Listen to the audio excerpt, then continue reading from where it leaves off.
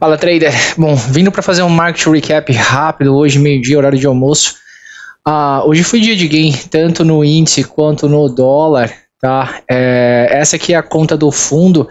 Essa nova série de vídeos é, é para falar um pouquinho sobre, é para dar algumas dicas sobre gestão, né? São dicas do gestor para falar um pouquinho sobre gestão de capital e um pouco sobre como é que a gente opera com uma conta maior, diferente da outra série que eu falei muito sobre conta pequena, né? Obviamente, como é uma conta de, uh, de fundo, eu não vou poder mostrar o valor, mas só para ficar claro de que é conta real, né? Uh, a conta que tá verde é a conta real, tá? O simulador. Eu nem operei tanto no dólar quanto uh, no índice. Qual que é o ponto aqui? eu tenho operado eu tenho operado apenas pela, pela, pela manhã, das 9 até no máximo às 10 e meia. Evitar de trazer o fundo para uma volatilidade maior que tem acontecido pós notícias das 10 e meia. Hoje a gente teve o CPI, né, um, provavelmente um dos indicativos mais importantes de volatilidade no dólar e no índice final do ano passado e esse ano, porque é o índice que mede inflação e o mercado inteiro está de olho na inflação, tanto nos Estados Unidos quanto no mundo inteiro. É, e a, a, amanhã a gente tem job claims e assim vai. E, então eu tenho mantido o fundo um pouco mais livre dessa volatilidade, tentando operar uh, o que dá para operar na abertura. Não foi, não foi diferente hoje. Uh, foram 14 operações hoje, mas eu vou falar um pouquinho sobre quais, quais foram os pontos, mentalidade por que, que a gente fez isso né?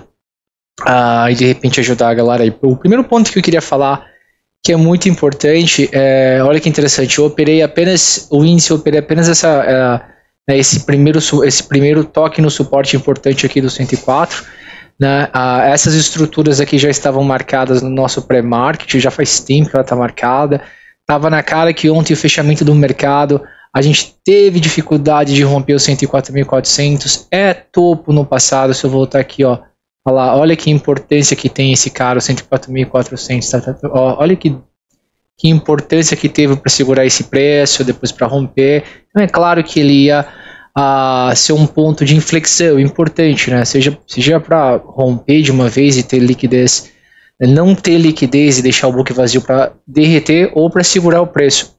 então hoje eu estava de olho nesse, nesse pullback.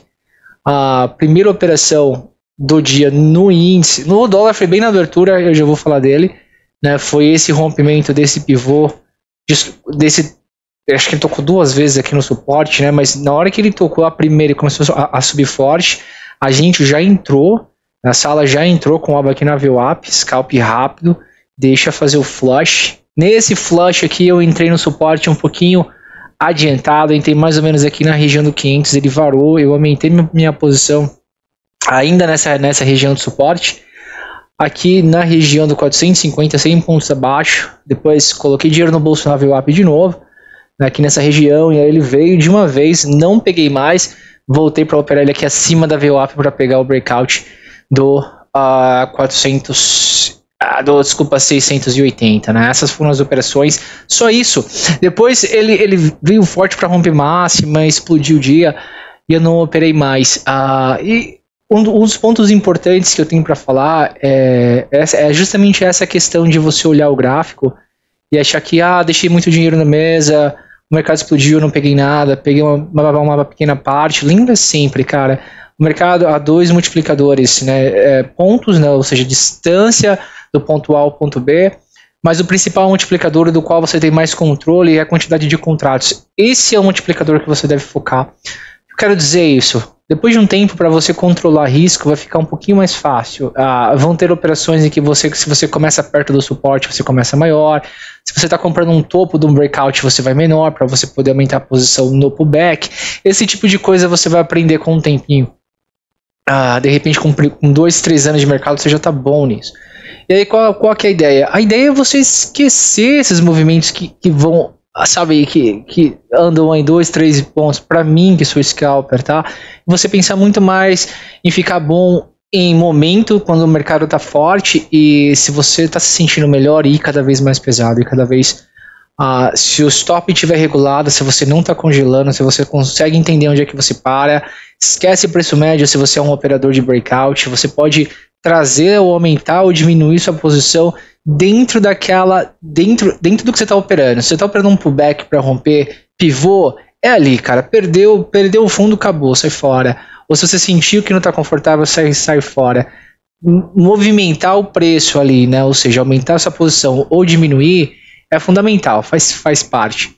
Mas se você começar a trazer isso para correção, ah, estou corrigindo, estou revertendo a minha posição, estou corrigindo, hein?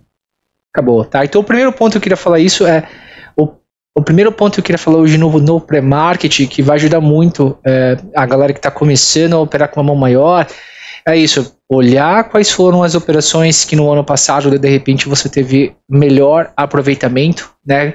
E esses são operações que eu costumo fazer, a galera que curte meu canal, começar a investir ali em uma, duas operações mais contratos. Esquece mais pontos, esquece movimentos grandes, fica bom em pegar rompimentos e breakouts cada vez mais pesado. É, é isso que eu, eu, eu não gosto de alterar, eu não gosto de alterar a técnica, então provavelmente nesse fundo eu vou eu vou aumentando o contrato até o ponto em que eu não consegui, ele não conseguir mais absorver porque, por conta que a, que, a, que a região é pequena, mas isso demora muito, isso demora. Quando isso acontecer, eu vou estar tá fazendo, sabe, 50, 60 mil por dia. Então, tá lá na frente, não tem por que eu pensar nisso agora. O importante agora é, é, é fazer as mesmas coisas todos os dias, uma quantidade de contrato limitado e quando você for começar a aumentar capital, não mexer na distância dos pontos, não mexer em movimentos, mexer na quantidade de contratos. No dólar, o que, o que ficou interessante no dólar foi logo bem na abertura, nos primeiros minutos, a gente havia feito um pré-market muito bem feito, traçando ali a região dos 600 como o principal suporte, né? Não preciso falar muito disso, tá na cara que é um suporte muito forte. Deixa eu trazer para cá, aqui, ó. Né? Se eu trazer aqui, ó, perdão. Se eu trazer o gráfico para cá, dá para ver que aqui ela é o principal suporte do dólar aqui no 600, dessa movimentação inteira de alta. Então, uh, se você se você estava de olho na abertura, você vai ver que a gente teve um pequeno sell-off até os 600. A partir dos 600 na abertura, o mercado começou a comprar que nem um louco, né? E aí é momento. Se você não entrar, você perde o bonde.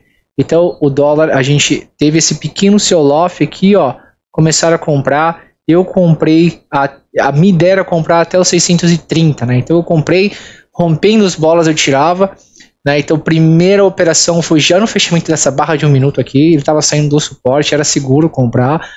Uh, tinha muito momento, bastante volume, fita explodindo para cima, compra. Sai rápido, 4, 5 pontos. Primeiro pullback, pullback na VWAP, comprar a VWAP, já falei bastante sobre isso. Falha de VWAP de manhã quando há momento no mercado é onde você tem que estar de olho, é onde os, os, os players vão montar a posição para um dia direcional. Se for um dia ruim, ele vai cruzar, varar. Mas se for um dia direcional, eles vão montar a posição na abertura ali. Então, primeiro pullback na VWAP, quando há esse tipo de volume aqui, ó, eu tô sempre de olho. Olha o pullback como foi. Tava na cara que o volume não saiu do mercado, o dinheiro tá lá, vamos comprar, aumentar de posição, sair no breakout.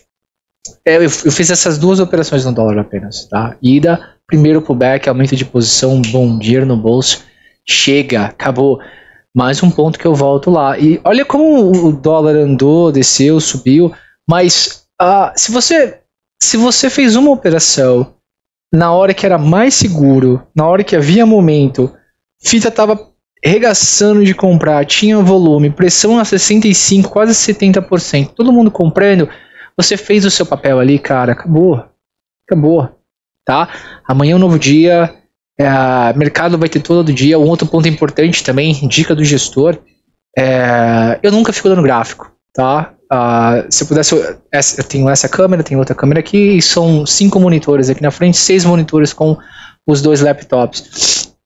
Acabou, acabou as minhas operações, cara, é uma hora e meia de operação, depois eu tenho basicamente 5, 6 horas de relatório, estudo, me preparar para o dia que vem lá, lá pro próximo dia, a próxima abertura. Cara, vai fazer outra coisa. Se ficar olhando o gráfico, você vai achar a situação ah, ah, para colocar risco de novo. Ah, mas aí eu ganhei mais. É, mas esse hábito de você não seguir ah, o que tem que ser seguido, de não seguir as regras, é uma péssima mensagem que você passa para o seu cérebro Putz, eu tava olhando uma live agora há pouco aqui, uh, de um cara que ontem perdeu 85 mil, hoje tá alavancando, o índice explodindo para cima, o cara alavancando na venda mais uma vez, tava com menos 60 mil.